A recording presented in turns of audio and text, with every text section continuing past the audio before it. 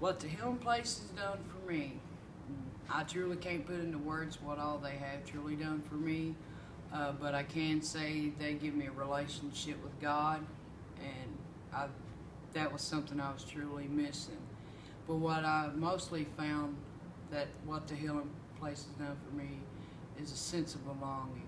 Uh, I always felt that I was out of place. I wasn't wanted. I wasn't cared for. I wasn't. I was just nothing to the world. It was just like me against the world. But through the healing place, I found that I have family here. They're not just friends, uh, people I went through the house with. They're family. They, the people I have met here are the relationships I've always wanted, that I've searched for, that I thought that I had in out when I was out in my addiction, but it wasn't. Uh, here, people accept me for who I am uh, with open arms. They understand me on many different levels. And the healing place give me time for me to look at me, to understand me, to become who I've always wanted to become but didn't know how.